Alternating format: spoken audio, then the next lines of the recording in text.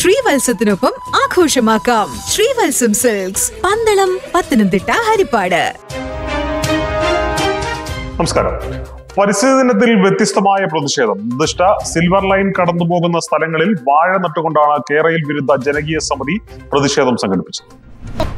Silver ലൈനെ അനുകൂലിക്കുന്ന ഓരോ ജില്ലയിലെയും ഓരോ ഭരണകക്ഷി എം എൽ എമാർക്കും ഓരോ വാഴത്തൈകൾ എന്ന ക്രമത്തിൽ വാഴ നട്ട് പ്രതീകാത്മക പ്രതിഷേധം നടത്താനാണ് കേരയിൽ സിൽവർ ലൈൻ വിരുദ്ധ ജനകീയ സമിതി ആഹ്വാനം നൽകിയിരിക്കുന്നത്. നിർദ്ദിഷ്ട പാത കടന്നു പോകുന്ന പതിനൊന്ന് ജില്ലകളിൽ ഒൻപത് വാഴകൾ വീതം വെക്കുന്നതാണ് പരിപാടി. ഇതിന്റെ പത്തനംതിട്ട ജില്ലാതല ഉദ്ഘാടനം പാത കടന്നു പോകുന്ന കുന്നന്താന നടക്കലിൽ സിൽവർ ലൈൻ വിരുദ്ധ ഐക്യദാർഢ്യ സമിതി ജില്ലാ ചെയർമാൻ ജോസഫ് എം പുതുശ്ശേരി നിർവഹിച്ചു. കേരളയിലടക്കം വിനാശ വികസന പദ്ധതികൾക്കെതിരായി തൃക്കാക്കര വിധിയെ എഴുതുന്നതിന്റെ കടുത്ത ആഘാതത്തിന്റെ പേരിൽ മൗനം ഭജിക്കുകയല്ല തെറ്റുകൾ ബോധ്യപ്പെട്ട് അവ ഏറ്റുപറഞ്ഞു തിരുത്തുകയാണ് പട നയിച്ച മുഖ്യമന്ത്രി ചെയ്യേണ്ടതെന്നും അതിനായി അദ്ദേഹം മൗനം വെടിയണമെന്നും പുതുശ്ശേരി ആവശ്യപ്പെട്ടു. ജനങ്ങൾ നൽകിയ താക്കീതിന്റെ വെളിച്ചത്തിൽ പദ്ധതി ഉപേക്ഷിക്കാനും നിയമവിരുദ്ധമായി നടന്ന കല്ലിടലിനെ ചെറുത്തതിന്റെ പേരിൽ രജിസ്റ്റർ ചെയ്തിട്ടുള്ള കേസുകൾ പിൻവലിക്കാനുമുള്ള വിവേകമാണ് മൗനത്തിന് പകരം ഉണ്ടാവേണ്ടത്.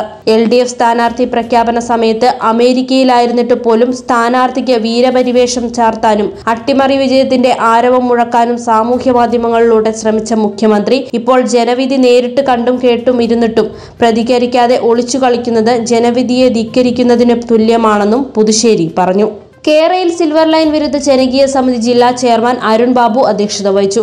ജില്ലാ convener Murukesh Nadakkal Joseph Velliyankunnath T S Abraham Rijo Mammen Radha N Nair എന്നിവർ പ്രസംഗിച്ചു. കേരയിൽ വിരുദ്ധ ജനകീയ സമിതി ആഹ്വാനം ചെയ്ത പരിസ്ഥിതി വാരാചരണത്തിന്റെ ഭാഗമായി അലൈൻമെന്റ് കടന്നു പോകുന്ന സ്ഥലങ്ങളിൽ ഫലവൃക്ഷങ്ങളും മറ്റ് വൃക്ഷത്തൈകളും വെച്ചുപിടിപ്പിക്കുന്നതും സമരമരം നടുന്നതുമായ ഒട്ടേറെ പരിപാടികൾ സംസ്ഥാനത്തുടനീളം നടന്നുവരികയാണ്.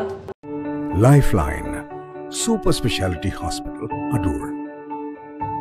Get the best essential remedy for infertility with added departments such as genetics, fetal medicine, obstetrics and gynecology, level 3 advanced NICU, pediatric and pediatric surgery, minimal access surgery and pediatric surgery. Kerala's number one fertility center, Lifeline Super Speciality Hospital, Adur. We complete your family.